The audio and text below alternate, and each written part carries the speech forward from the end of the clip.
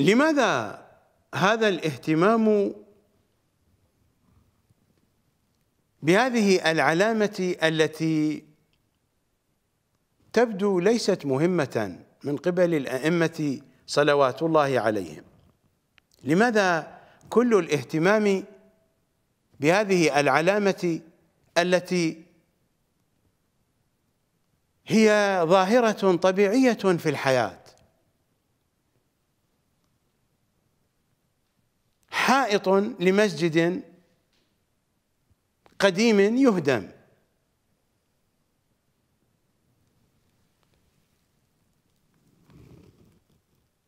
أجيب على هذا السؤال.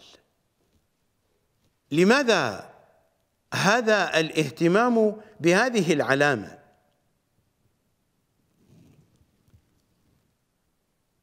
أولا إنها الكوفة العاصمة.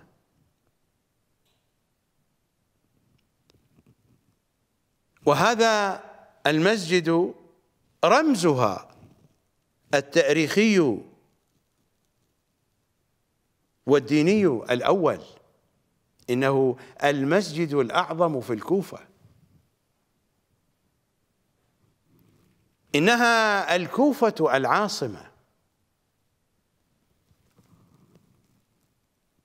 ستكون عاصمة للوجود. الكوفة ستكون عاصمة الأرض والأرض ستكون عاصمة الكون. إنها الدولة المهدوية العظمى والتي تقودنا إلى الرجعة العظيمة وإلى الدولة المحمدية التي هي جنة الأرض جنة الكون. بل هي جنة الدنيا. جنة الدنيا جنة الكون. فالكون كله عنوانه الدنيا. السماء التي تعتلي هذا الكون هي السماء الدنيا وهذا الكون الذي نحن نعيش فيه هذه ملحقات السماء الدنيا زينة السماء الدنيا. إذا أولا إنها الكوفة العاصمة وهذا رمزها التاريخي والديني الأول مسجدها الأعظم. وثانيا يريدون صلوات الله عليهم أن يقولوا لنا نحن معكم معكم حتى في التفاصيل الصغيرة. فكونوا معنا كونوا معنا أيضا حتى في التفاصيل الصغيرة. مثلما نخاطبهم في الزيارة الجامعة الكبيرة معكم معكم لا مع غيركم.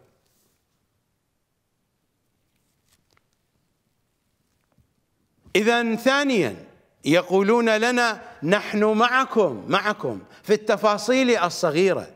هذا تفصيل صغير. لكننا نهتم به. مثلما نحن معكم في التفاصيل الصغيرة فكونوا معنا في التفاصيل الصغيرة أيضا. وثالثا هذه علامة خاصة لشيعتهم الذين يبحثون في كل زاوية في كل مكان عن أية علامة في مسجد الكوفة في مسجد السهلة تقربهم إلى إمام زمانهم. هذه علامة لشيعتهم. هذه علامة لأبناء العاصمة لأبناء الكوفة أولا. لأبناء العراق ثانيا. للشيعة الزائرين ثالثا. إنها علامة واقعية من واقع الحياة اليومية. هذا مسجد الكوفة الذي نعرفه. وهذه حيطانه القديمة التي نعرفها. فيحدث هدم في حائط المسجد مما يلي دار ابن مسعود إنها علامة علامة علامة علامة لزوال ملك بني العباس. أزال الله ملكهم عاجلا وعاجلا وعاجلا. إن كان الذين يحكمون في بغداد والنجف هم الأوصاف هي الأوصاف. لكننا لا نعلم الغيب. ولسنا على علم بأسرار قانون البداء. وواقع الشيعة الخائب يشير إلى أننا سنتحرك باتجاه السيناريو الثالث وحينئذ سينتفي كل هذا الكلام. واقع الشيعة الخائب يقول هكذا.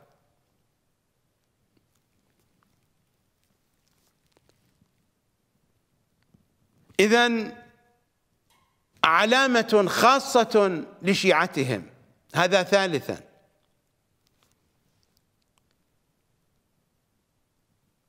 ورابعا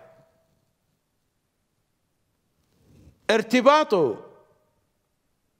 كل صغيرة وكبيرة في واقعنا الديني في واقعنا العقائدي في واقعنا الشيعي من جهة رموزنا ومنظومتنا العقائدية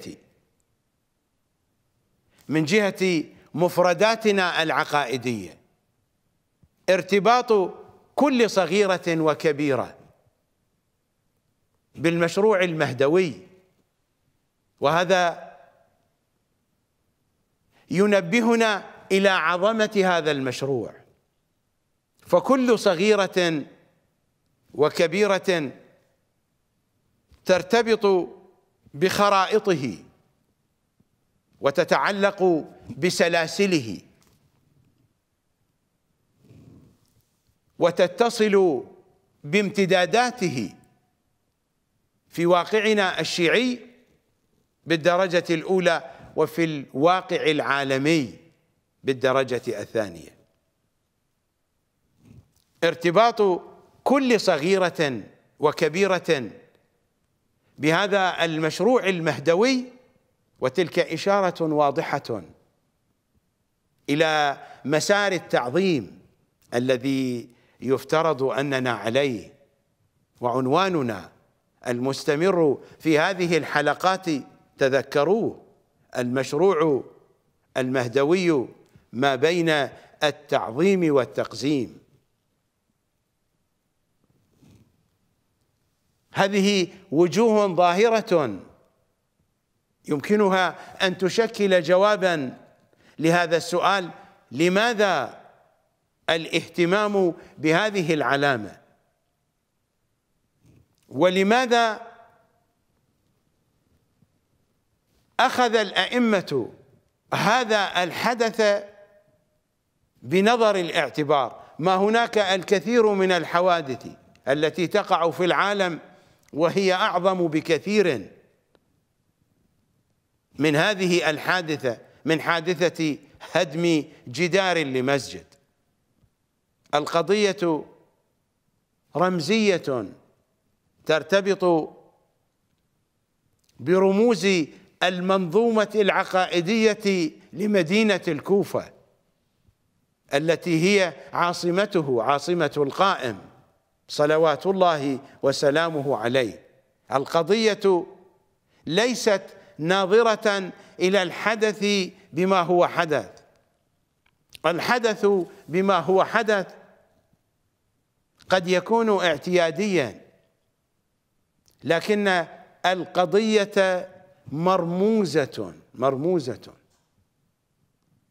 هذه القضية مربوطة بالمشروع المهدوي وهذا المشروع عظيم. فأي شيء يرتبط به سيكون عظيما. هذا هو الفارق ما بين المسارين ما بين مسار التعظيم ومسار التقزيم الذي عليه الأقزام في حوزة الطوسي في حوزة التقزيم والتقصير والسفاهة والإرجاء والبتر إنهم مرجئة بترية مقصرون مقزمون للمشروع المهدوي. نذهب إلى فاصل.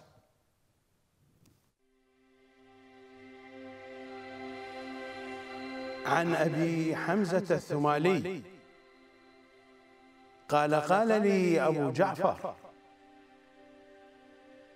إمامنا الباقر صلوات الله عليه. إنما يعبد الله من يعرف الله. فأما من لا يعرف الله فإنما يعبده هكذا ضلالا. قلت جعلت فداك. فما معرفة الله. قال تصديق الله عز وجل. وتصديق رسوله صلى الله عليه وآله. وموالاة علي صلوات الله عليه. والائتمام به وبأئمة الهدى. صلوات الله عليهم. والبراءة إلى الله عز وجل من عدوهم. هكذا يعرف الله عز وجل.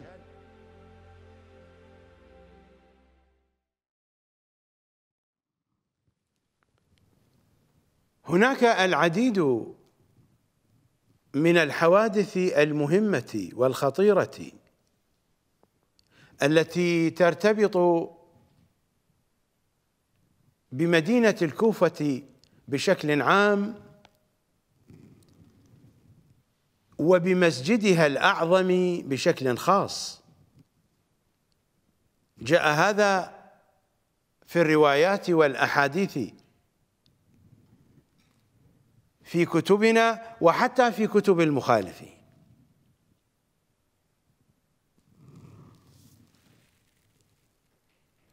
على الشيعي أن يعرف هذه الحقائق كي يعرف أين يضع قدمه. في زمان تهيمن فيه الفتن في جميع الاتجاهات. أقرأ عليكم من الإرشاد. إنه للشيخ المفيد المتوفى سنة 413 للهجرة. هذه الطبعة طبعة مؤسسة سعيد بن جبير. إنها الطبعة الأولى 1428 هجري قمري قم المقدسة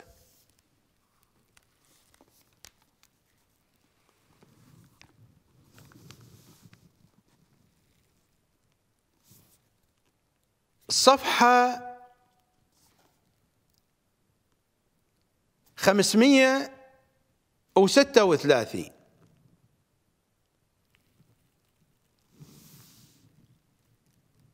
بسنده عن أبي بصير عن إمامنا الصادق صلوات الله وسلامه عليه لا يذهب ملك هؤلاء.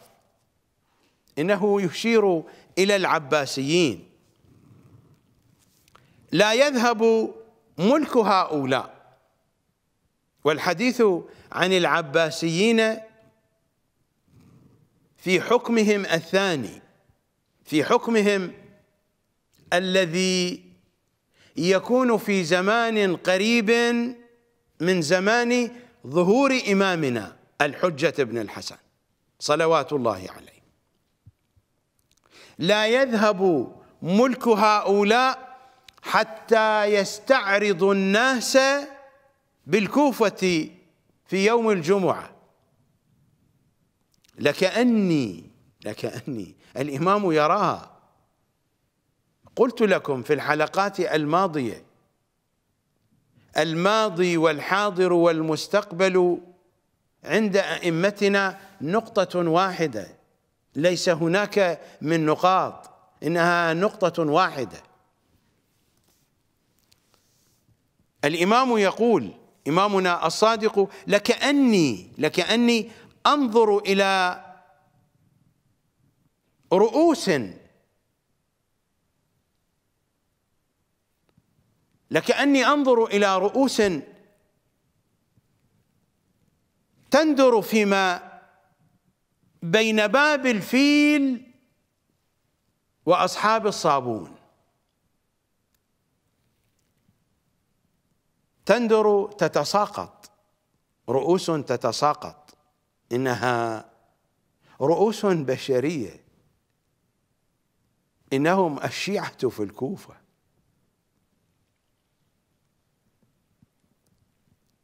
هذه الرواية ذكرها أيضا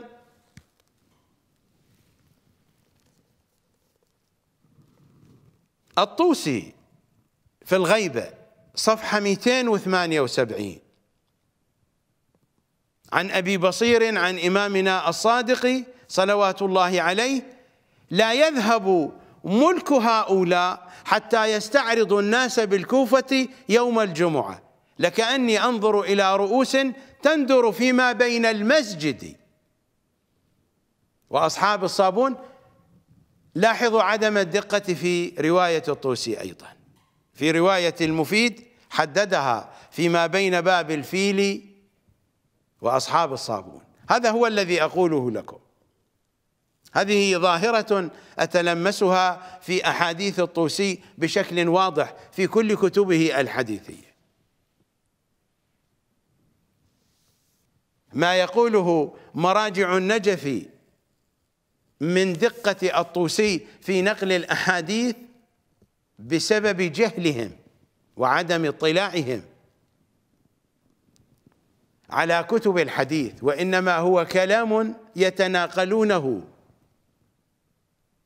على الألسنة من شخص لآخر من دون تحقيق وتدقيق. الأدق في نقل الأحاديث الكليني. الصدوق أقل دقة من الكليني. هؤلاء الذين يقدمون الصدوق على الكليني ما عندهم من علم بشكل موسوعي في أحاديث العترة. ولا هم على بلاغة ومعرفة بأسرار العربية. نصوص الكليني أدق من جهة البلاغة والعربية.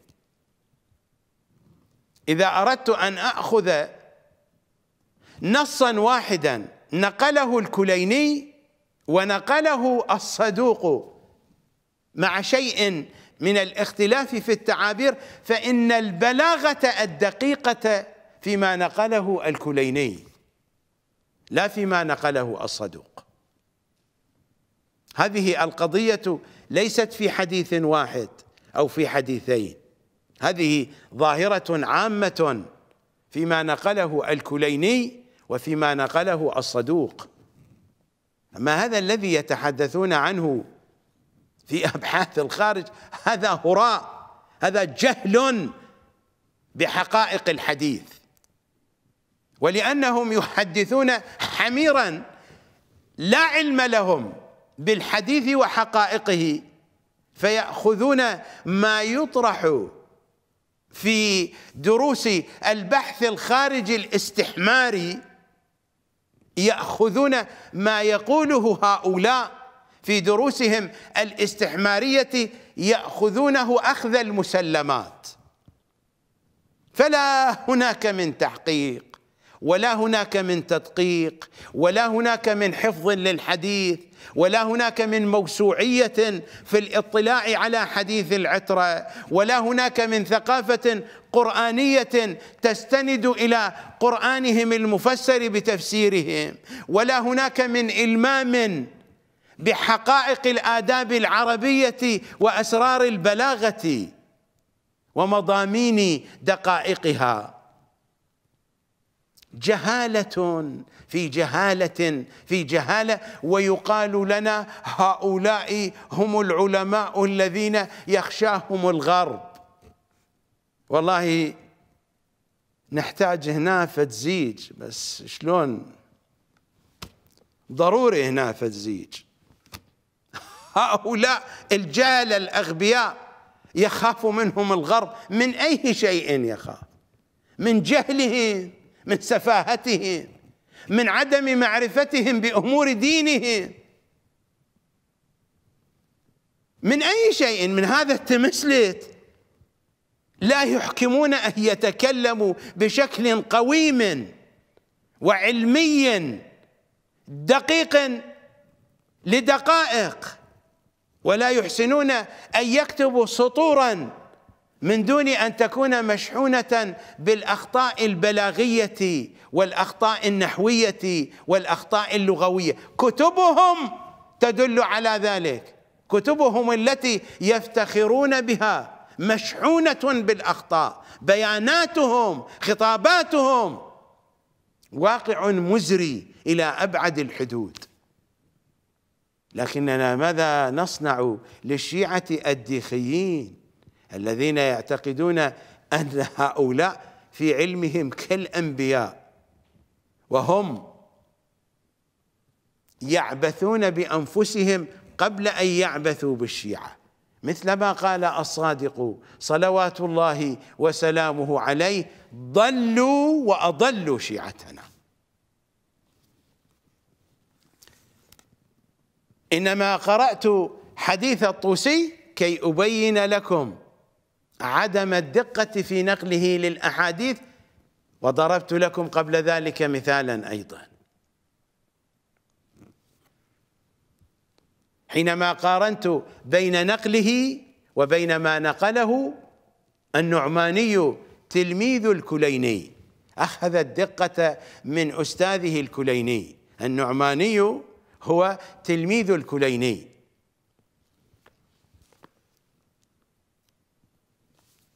هكذا ذكر الطوسي في غيبته لا يذهب ملك هؤلاء حتى يستعرضوا الناس بالكوفة يوم الجمعة. لكأني أنظر إلى رؤوس تندر فيما بين المسجد وأصحاب الصابون. نعود إلى إرشاد المفيد. لقد حدد المكان بالدقة فيما بين باب الفيل وأصحاب الصابون. باب الفيل هو باب الثعبان. هو نفسه.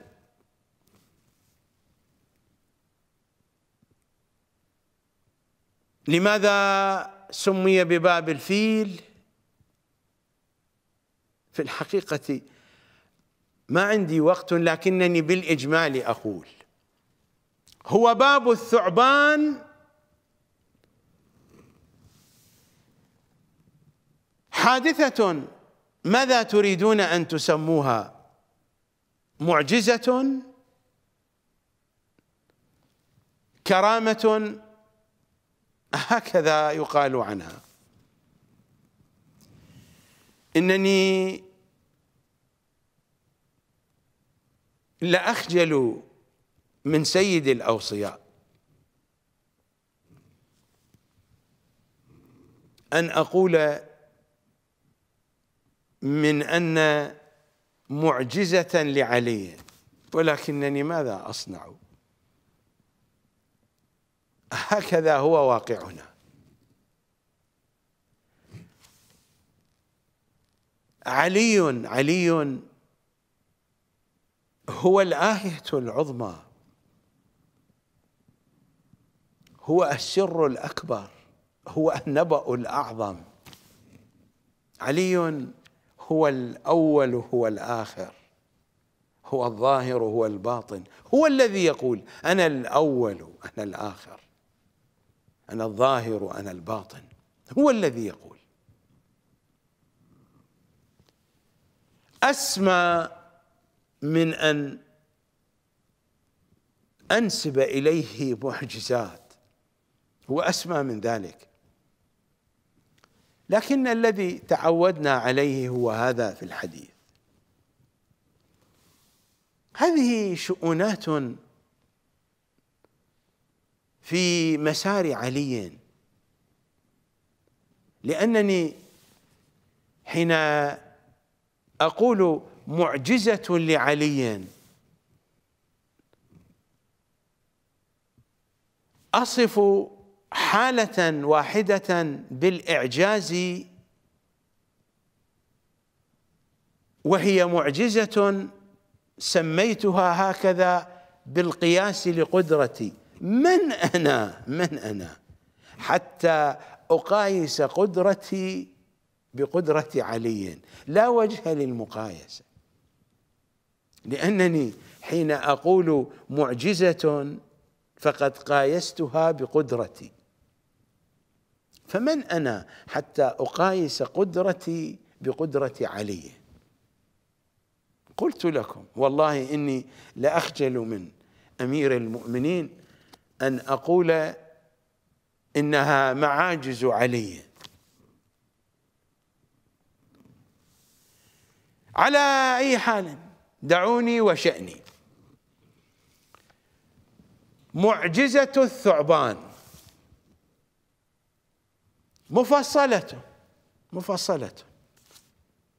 ثعبان هائل عظيم. دخل الكوفة ودخل من هذا الباب أمام الناس إلى المسجد وكان الأمير على المنبر. وخاطب الأمير والأمير خاطبه. هذا الذي تجدونه في زياراته من أنه مكلم الثعبان. الحادثة فيها تفصيل. أنا لا أريد أن أحدثكم عن التفصيل. فسمي الباب بباب الثعبان فحينما يسأل الناس لماذا سمي هذا الباب بباب الثعبان خصوصا حينما يأتي الشاميون إلى العراق. فيسمعون من أهل الكوفة هذا الخبر العجيب.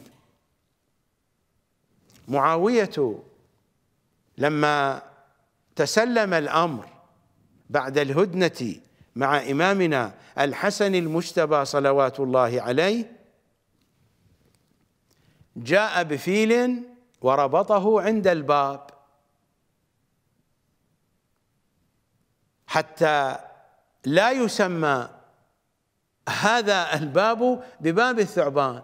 ربط فيلا عند الباب. لأن الفيل حيوان غريب على العراقيين يؤتى به إما من أفريقيا.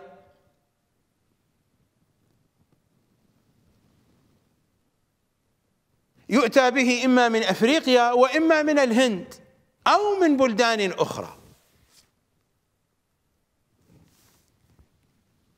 فيكون مثارا.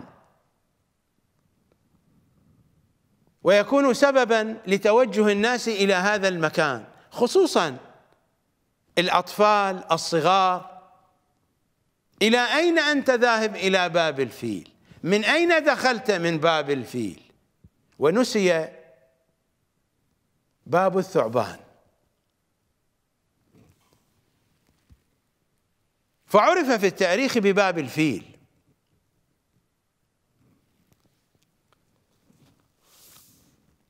أنا لا أريد أن أدخل في تفاصيل هذا الموضوع أكثر.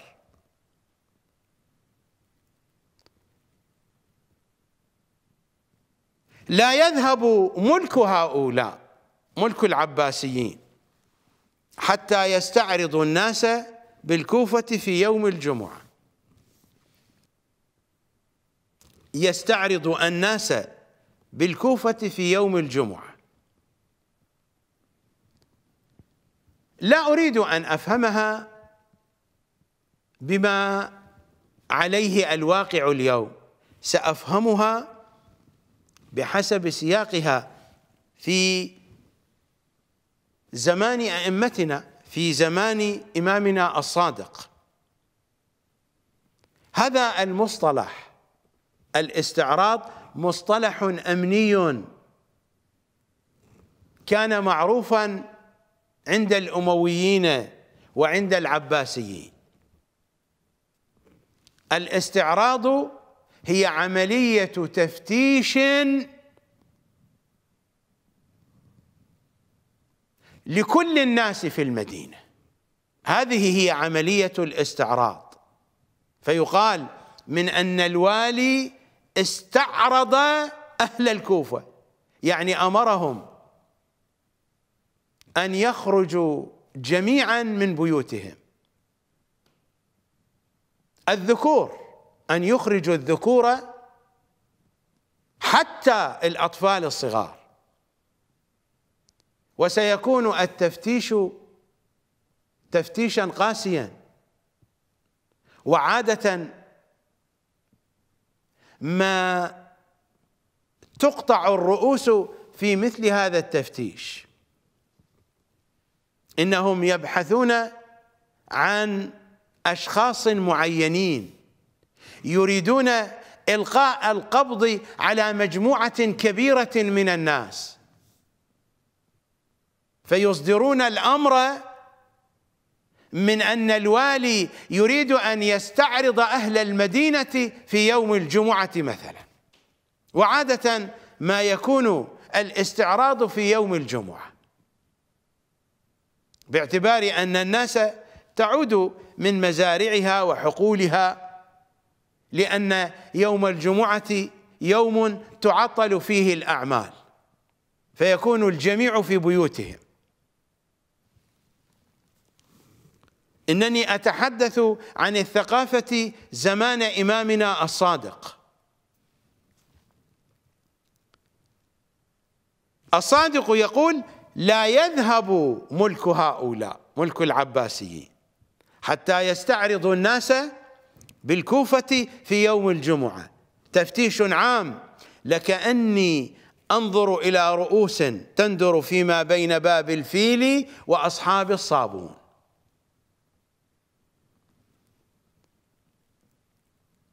رؤوس تندر تسقط تتساقط تقطع. أناس يقتلون.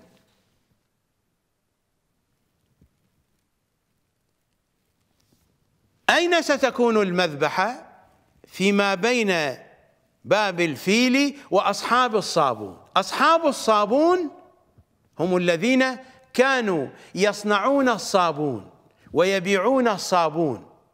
لهم سوقهم الخاص بهم. دكاكينهم مجموعة في مكان واحد في سوق الكوفة الكبير.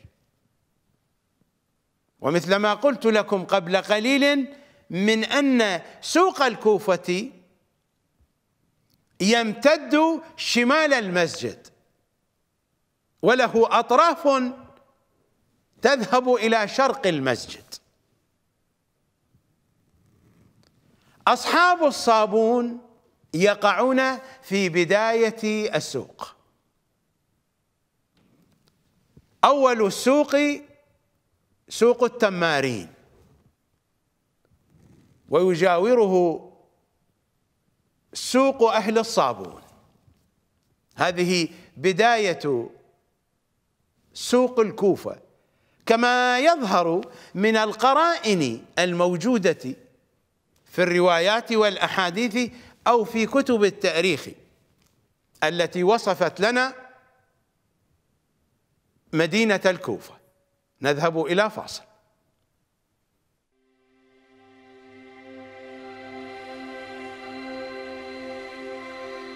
عن إمامنا الرضا صلوات الله وسلامه عليه.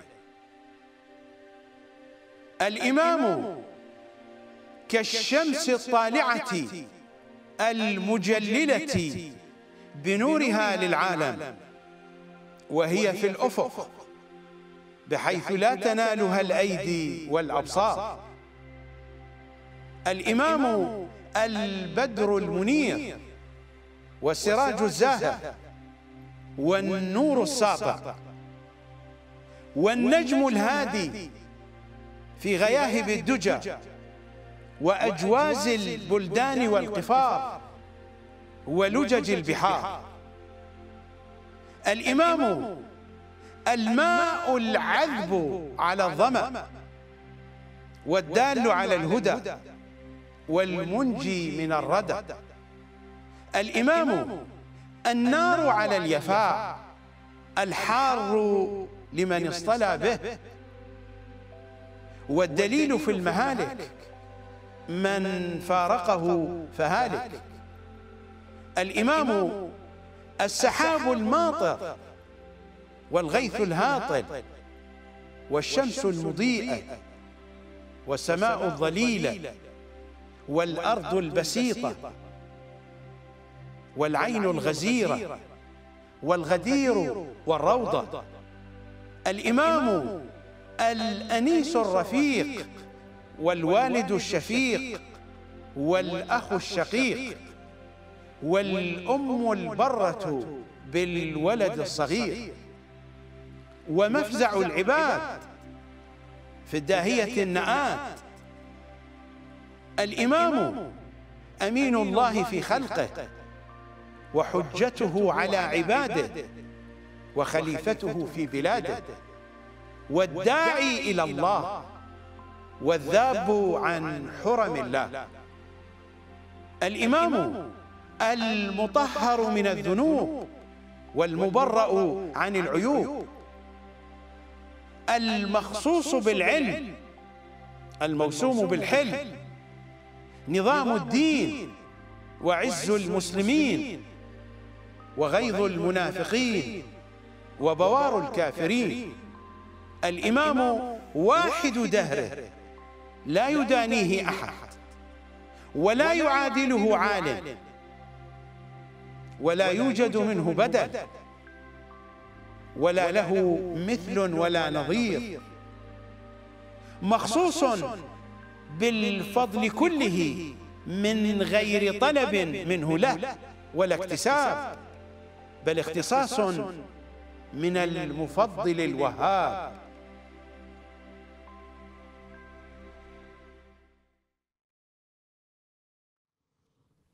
هناك رواية أخرى أيضا أوردها المفيد في الإرشاد في نفس هذا الاتجاه.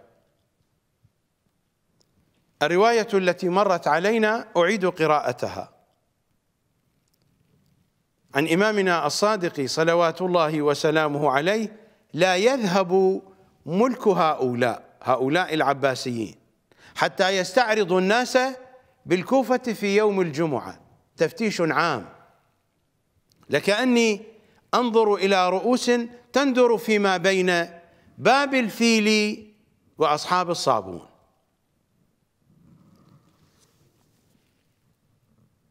ما بين باب الفيل من عند المسجد فباب الفيل هو باب الثعبان الباب الرئيس لمسجد الكوفة من جهة شمال المسجد. فمن الباب تمتد المذبحة إلى أصحاب الصابون. إذا أردنا أن نقدر ذلك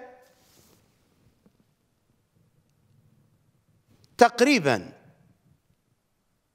وبحسب القرائن فمن باب الثعبان إلى أكثر من مئتي متر. هذا التقدير تقريبي تقريبي.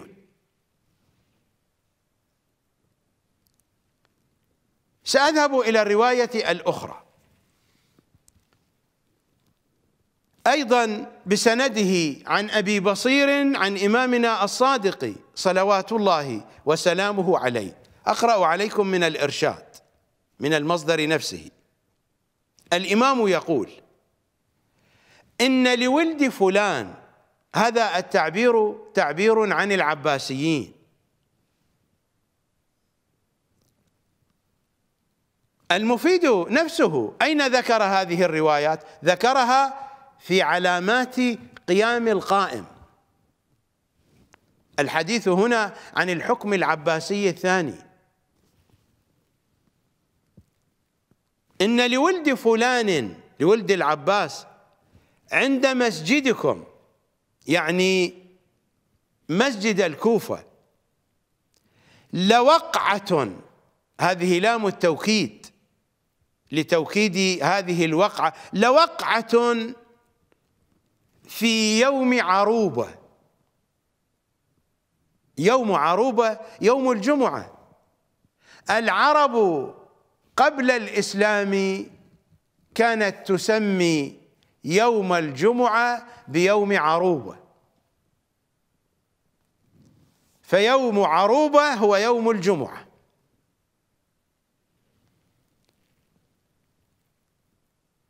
هو من أسماء يوم الجمعة. حتى في الإسلام هناك من يسمي يوم الجمعة بيوم عروبة من أسماء يوم الجمعة. لكن هذا كان شائعا أيام الجاهلية. لأن يوم الجمعة في القرآن وفي حديث نبينا الأعظم سمي دائما بيوم الجمعة فشاعت هذه التسمية.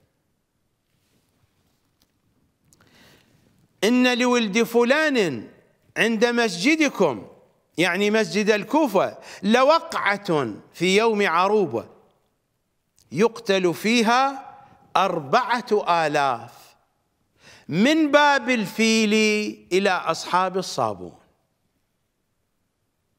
فإياكم وهذا الطريق فاجتنبوه. فإياكم وهذا الطريق فاجتنبوه. الإمام إنما يقول هذا الكلام لا لأن القضية ستقع غدا في أيامه وإنما يريد أن يقول للشيعة هذه معلومات دقيقة رتبوا الأثر عليها. هذا هو الذي يريد أن يقوله الإمام. فإياكم وهذا الطريق فاجتنبوه.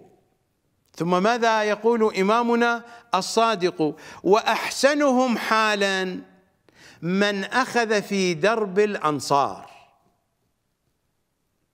فالإمام يقدم النصيحة لشيعته من أهل الكوفة من أهل العراق من الزوار الذين يذهبون إلى الكوفة في تلك الأوقات في تلك الأوقات التي يتحدث عنها في هذه الرواية. الإمام يحذرهم من هذا الطريق من هذه المساحة الممتدة ما بين باب الفيل يعني باب الثعبان وبين أصحاب الصابون إلى بدايات سوق الكوفة. قطعا تغير التخطيط الآن لكن الإمام يتحدث بحسب زمانه ولا ندري.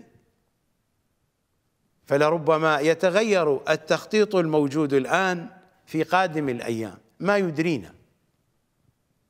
هذه الواقعة نحن لا نعرف زمانها. هل ستقع في زماننا؟ هل ستقع في زمان بعيد في قادم الأيام. هذا حديث عن المستقبل. إن لولد فلان لولد العباس عند مسجدكم يعني مسجد الكوفة لوقعة في يوم عروبة. يقتل فيها أربعة آلاف من باب الفيل إلى أصحاب الصابون.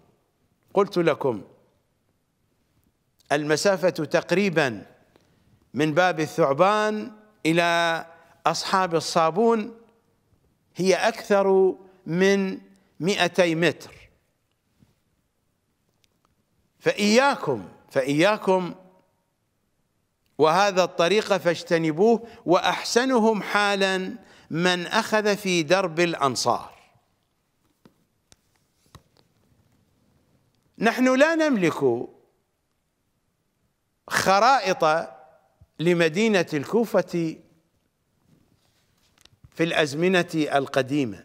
حتى نعرف بالضبط وبالدقة أين سوق الصابون وأين درب الأنصار.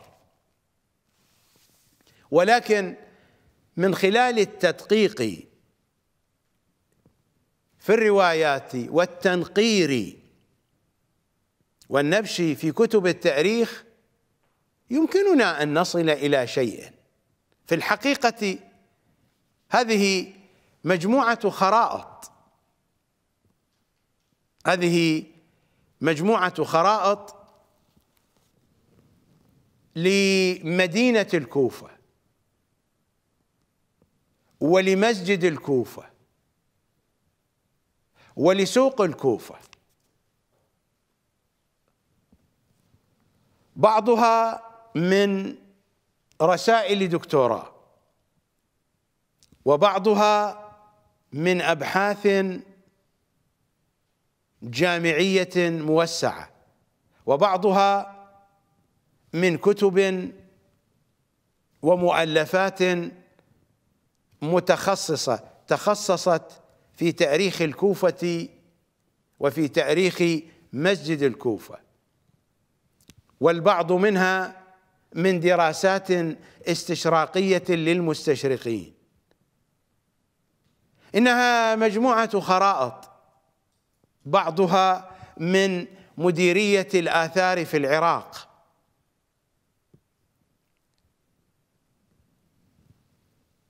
قد تعتمد اكاديميا. بالنسبة لي لا أعتمدها. دققت فيها فما وجدتها دقيقة جدا. فيها الكثير من الأخطاء والاشتباهات بحسب تشخيصي. ولا أملك دليلا قطعيا على دقة تشخيصي ولكن بحسب المعطيات التي عندي. التي أستقيها من أحاديث العترة الطاهرة ومن المعطيات التاريخية التي أعرفها حول تاريخ الكوفة. نذهب إلى فاصل.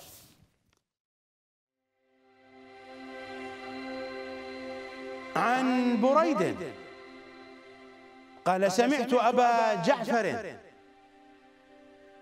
باخر العلوم صلوات الله وسلامه عليه.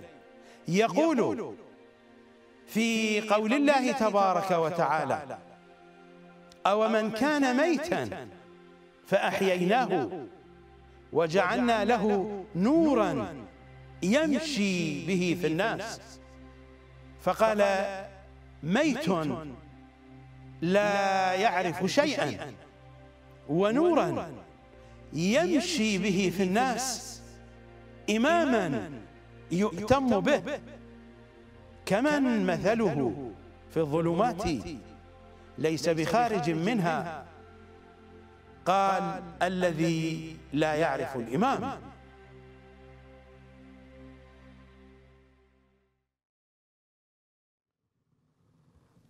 إنما ذكرت أمر هذه الخرائط ربما تعودون إلى المصادر التي تشتمل على هذه الخرائط من مؤلفات وكتب ودراسات وتجدون تشخيصا لمحلة الأنصار في الكوفة غير الذي سأذكره لكم. لهذا السبب نبهت على هذا أنا لا أعتمد على هذه الخرائط. لا على خرائط المستشرقين ولا على خرائط مديرية الآثار العراقية ولا على غيرها. من خلال المعطيات المتوفرة عندي من أحاديثهم ورواياتهم ومما أعرفه من معلومات من بطون كتب التاريخ عن تاريخ العراق وتاريخ الكوفة وقبائلها وسائر المعطيات الأخرى. درب الأنصار هذا الذي يقول عنه إمامنا الصادق هنا وأحسنهم حالا من أهل الكوفة أو من الذين كانوا موجودين في ذلك اليوم من أهل الكوفة ومن غيرهم وأحسنهم حالا من أخذ في درب الأنصار. الكوفة حين مصرت وسكنها المسلمون القادمون من الحجاز الأنصار سكنوا في محلة هي محلة الأنصار بحسب ما أعتقد. تقع في الجهة الشمالية الشرقية من مسجد الكوفة. في الجهة الشمالية الشرقية. يمكنني أن أشير إلى مرقد هاني ابن عروة. ومن هذا المرقد ونذهب باتجاه الجهة الشمالية الشرقية. لأن مرقد مسلم بن عقيل وكذلك هاني بن عروة يقعان شرق مسجد الكوفة.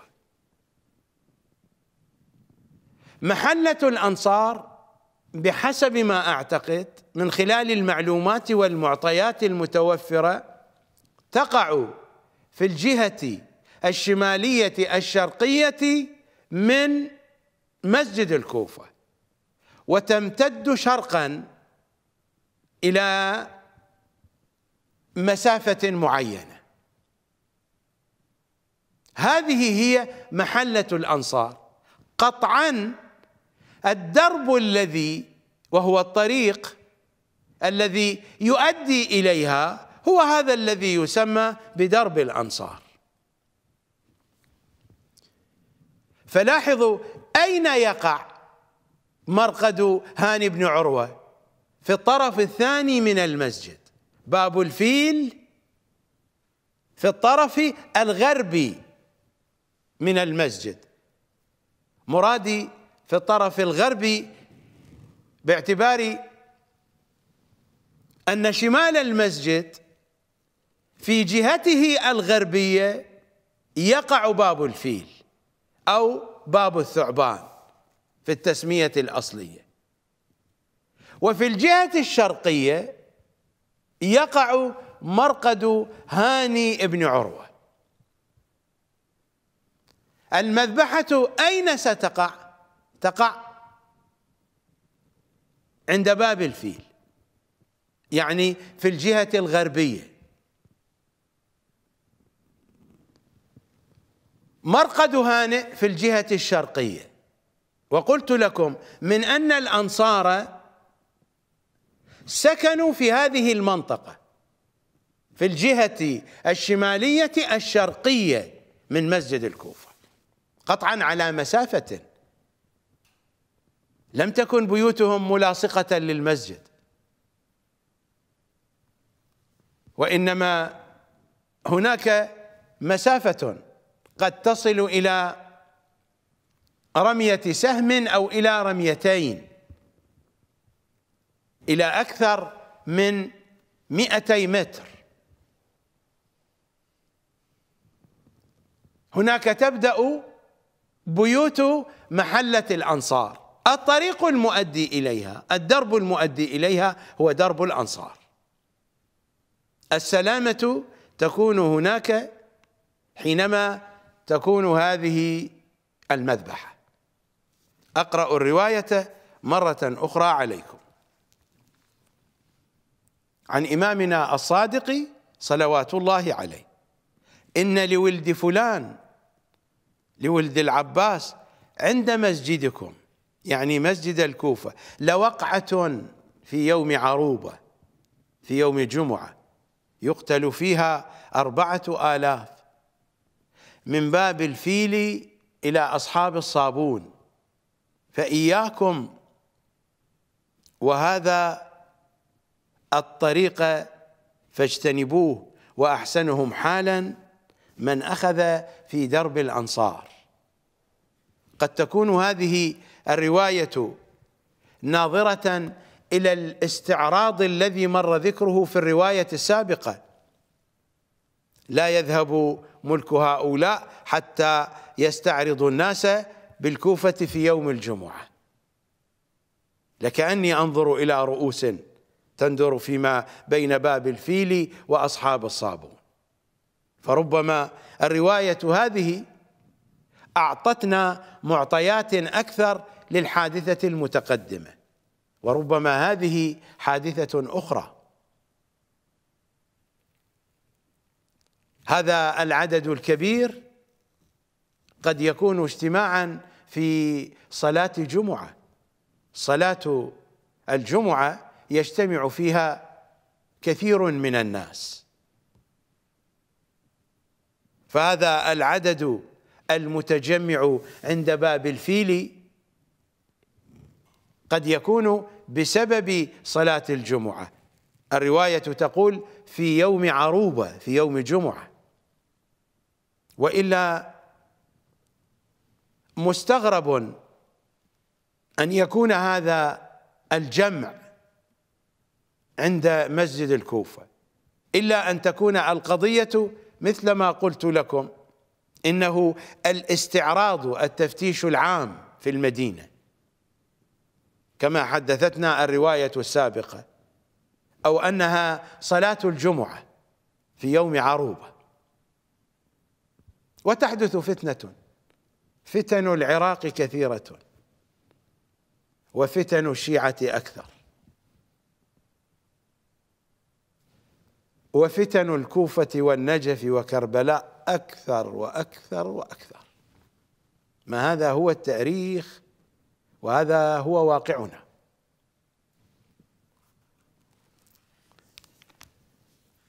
في كتاب الفتن لنعيم ابن حماد وقد حدثتكم عن هذا الكتاب في الحلقات المتقدمة وقرأت عليكم شيئا منه على سبيل الأنموذج. هذا الكتاب ليس كتابا موثقا عند المخالفين. لماذا؟ لأنه يشتمل على كثير من الروايات والأحاديث عن العترة الطاهرة.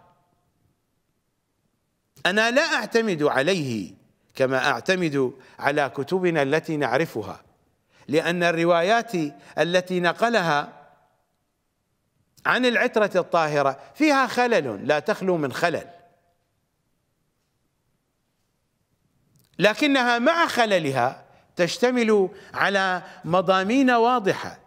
تؤيدها الروايات الموجودة في كتبنا التي نعتمدها.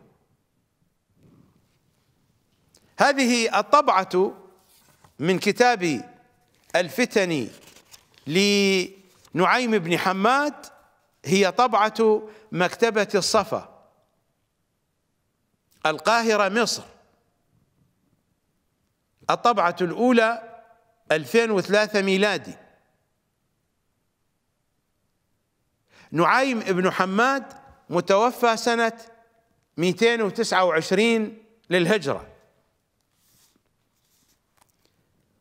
صفحة 176 رقم الحديث 809 بسنده عن جابر الجعفي عن إمامنا الباقري صلوات الله وسلامه عليه. قلت لكم هناك الكثير من أحاديث العترة في هذا الكتاب ولهذا السبب يضعفون الكتاب. لا يأخذون برواياته ولا يعتمدون على أحاديثه مع أنهم يمدحون نعيم بن حماد مديحا كثيرا. لكن لأنه نقل عن العترة في كتابه هذا يرفضون كتابه. الروايات التي نقلها لا تخلو من خلل. على أي حال نحن نقرأ الأحاديث ونأخذ معناها الإجمالي الذي يأتي مطابقا لما عندنا في أحاديثنا في كتبنا المعتبرة. 176 من كتاب الفتن لابن حماد رقم الحديث 809 بسنده عن جابر الجعفي عن إمامنا الباقري صلوات الله وسلامه عليه. إذا ظهر الأبقع الأبقع بحسب رواياتنا يظهر في سوريا. هل المراد هو هذا؟ هل المراد غيره؟ من القرائن إنه أبقع سوريا لأن الحديث سيكون عن السفياني. والسفياني حينما يظهر في سوريا سيقاتل الأبقع وسيقضي عليه. بحسب أحاديثنا على أي حال. أعود إلى الرواية التي نقلها ابن حماد عن جابر الجعفي عن باقر العلوم صلوات الله عليه. إذا ظهر الأبقع مع قوم ذوي أجسام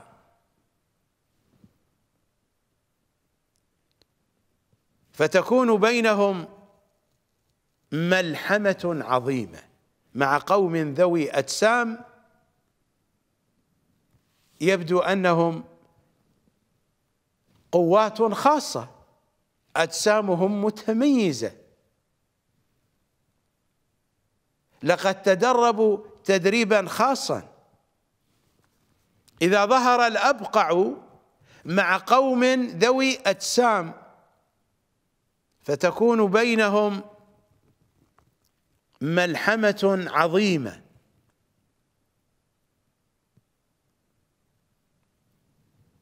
فتكون بينهم ملحمة عظيمة تكون بينهم وبين أعدائهم. هذا خلل في الرواية.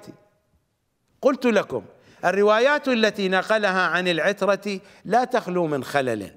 هذا الخلل متعمد ليس من قبل ابن حماد. ربما من الأجيال التي جاءت بعد ابن حماد عبثوا في كتابه لأنها أحاديث العترة. يريدون أن يدخلوا فيها خللا. إذا ظهر الأبقع مع قوم ذوي أجسام فتكون بينهم ملحمة عظيمة. قطعا هذه الملحمة هي ملحمة الأبقع والأبرص والسفياني هناك الابقع هناك الأبرص هناك عدة شخصيات.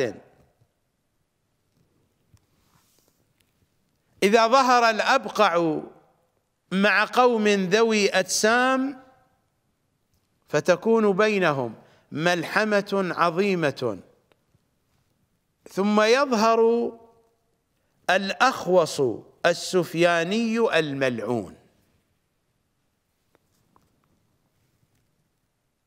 فيقاتلها جميعا. يقاتلها جميعا من؟ يقاتل الرايات جميعا. هذا خلل في الرواية أيضا. فيقاتلها جميعا. فيظهر عليهما جميعا. أيضا هناك خلل في التعبير. مرة يأتي الكلام جمعا وأخرى يأتي تثنية. وهذا هو الذي قصدته من خلل في أحاديث هذا الكتاب التي نقلها عن العترة الطاهرة. الذي يبدو لي هو خلل متعمد ليس من المؤلف وإنما من علماء المخالفين الذين جاءوا من بعده. كي يضعفوا هذه الأحاديث فتكون مهلهلة من الجهة اللغوية والمعنوية فلا يأخذ بها أتباعهم. ما هو هذا البرنامج الشيطاني على طول الخط. وهذا هو الذي يفعله مراجع حوزة الطوسي الآن مع أحاديثي وبرامجي. هكذا يضعفون أحاديثي وبرامجي التي هي لباب حديث القرآن المفسر بتفسير علي وآل علي ولباب حديث العترة المفهم بقواعد تفهيم علي وآل علي. لكن الأمور هكذا تجري وإذا لم تجري هكذا فذلك هو المستغرب. المستغرب أن الشيعة تأخذ حديث العترة من دون أن تسمم مرجعية النجف أفكارهم. هذا هو المستغرب.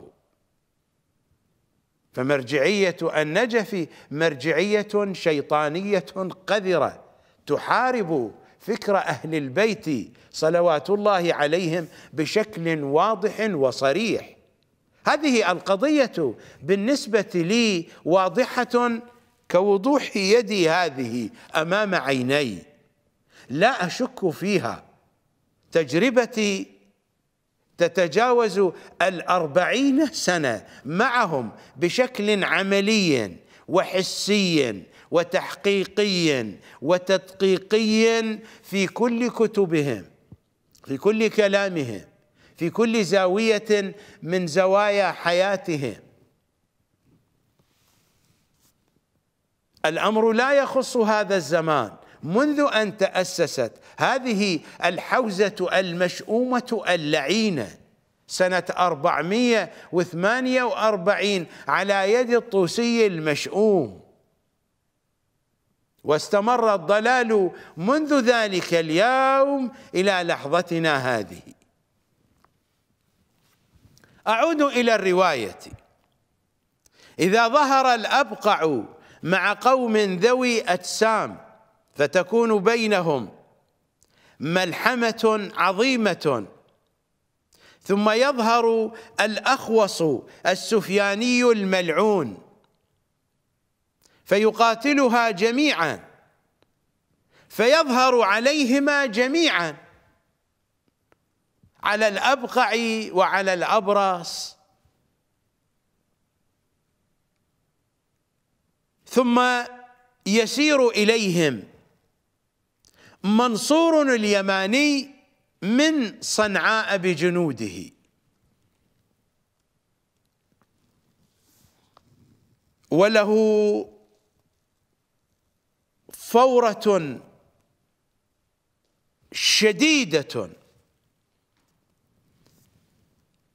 لا أريد أن أقرأ الرواية كلها لأنني لست بصدد الحديث عن السفياني ولا عن اليماني. أريد أن أصل إلى هذه النقطة إلى الكوفة.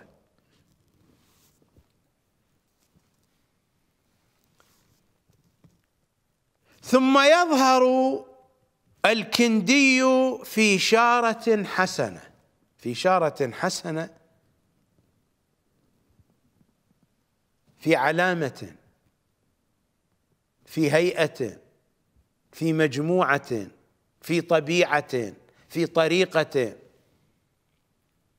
ثم يظهر الكندي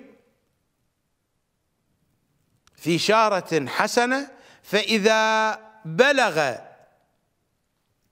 تل سما. فأقبل. ثم يسير إلى العراق.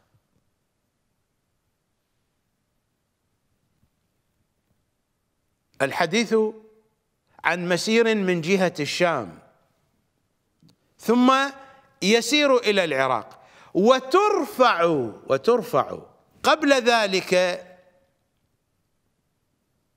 اثنتا عشرة راية بالكوفة معروفة منسوبة.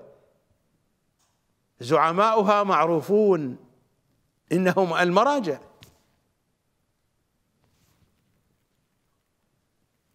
هذا الموضوع تحدثنا عنه.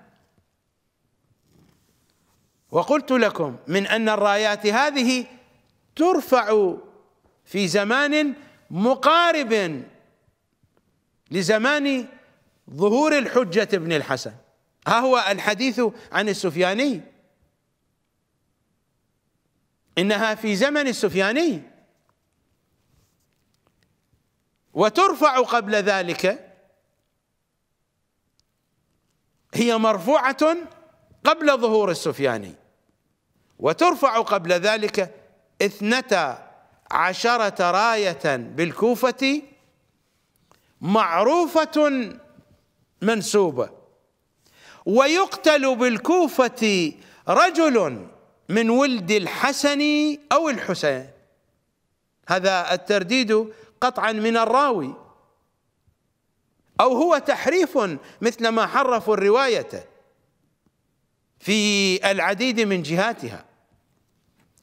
ويقتل بالكوفة رجل من ولد الحسن أو الحسين يدعو إلى أبيه يدعو إلى أبيه. إما أن أباه مرجع من المراجع فهو يدعو إلى أبيه من المراجع الأحياء. وإما أن أباه من المراجع الذين ماتوا وهو يدعو إلى منهجه. هناك احتمالان.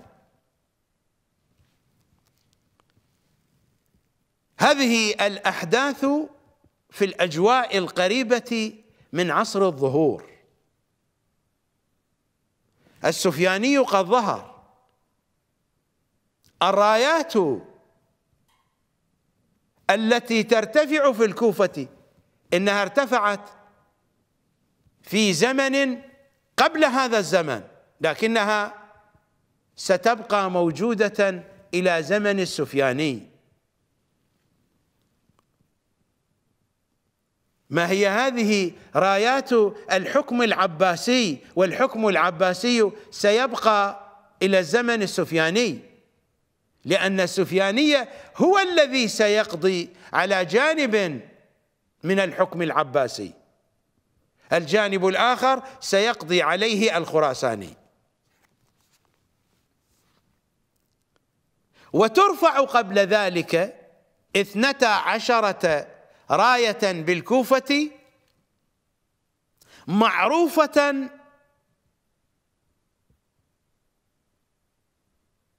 منسوبة. زعماؤها معروفون وكل راية تنسب إلى قائد. إنهم المراجع.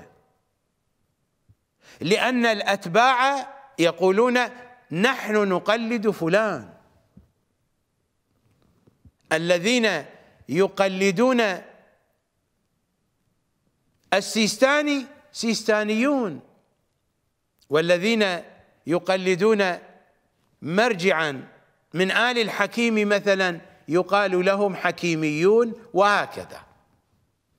والذين يقلدون أحدا من آل الشيراز يقال لهم شيرازيون منسوبون إلى مراجعهم.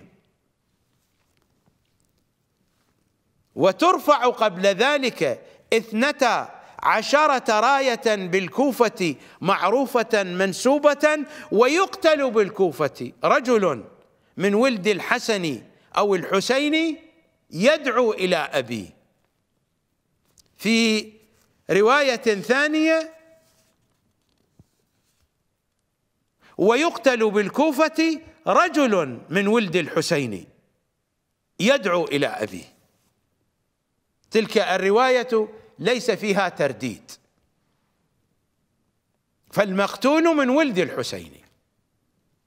الرواية تلك رواها ابن حماد أيضا عن جابر الجعفي عن إمامنا الباقر صلوات الله وسلامه عليه. سأعود إليها.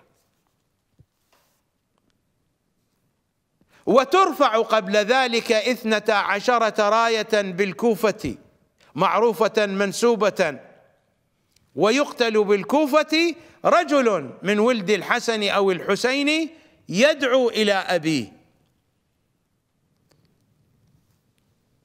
ويظهر رجل من الموالي من الموالي من غير العرب. أو من الذين يرتبطون بإيران بشكل مباشر. ويظهر رجل من الموالي. فإذا استبان أمره وأسرف في القتل قتله السفياني. فإذا استبان أمره وأسرف في القتل يبدو أنه قد يطلب بثأر ذلك الرجل الذي هو من ولد الحسن أو الحسين يدعو إلى أبيه يبدو هذا على سبيل الظن. وترفع قبل ذلك اثنتا عشرة راية بالكوفة معروفة منسوبة لقادتها وزعمائها الذين هم مراجع الدين ويقتل بالكوفة رجل من ولد الحسن أو الحسين يدعو إلى أبيه ويظهر رجل من الموالي فإذا استبان أمره وأسرف في القتل قتله السفياني لأن السفياني سيسيطر على النجف ومراجع النجف سيبايعونه هؤلاء اللعناء سيبايعونه ويغدرون بإمام زمانهم ويخرجون لقتاله هؤلاء الأنجاس. أتحدث عن المراجع الذين سيكونون في عصر الظهور. الرواية الثانية من الكتاب نفسه. صفحة 173 رقم الحديث 800 من الباب الثاني والعشرين. بسنده عن جابر الجعفي عن إمامنا أبي جعفر الباقر صلوات الله وسلامه عليه إذا اختلفت كلمتهم وطلع القرن ذو الشفاء. وفي بعض النسخ ذو الشفاه لم يلبثوا إلا يسيرا حتى يظهر الأبقع بمصر. الأبقع في سوريا ولكنني قلت لكم الروايات هنا في هذا الكتاب فيها خلل تعرضت لتحريف مقصود. وربما يكون في مصر أبقع وأبقع وأبقع. نحن والرواية.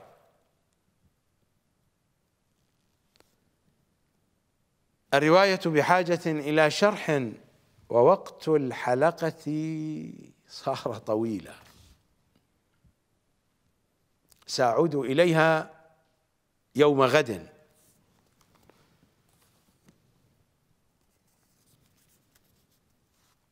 إن شاء الله تعالى. لا زال الحديث في هذا الموضوع المهم والمهم جدا. تابعوا الإعادة وانتظروني غدا. أسألكم الدعاء جميعا في أمان الله.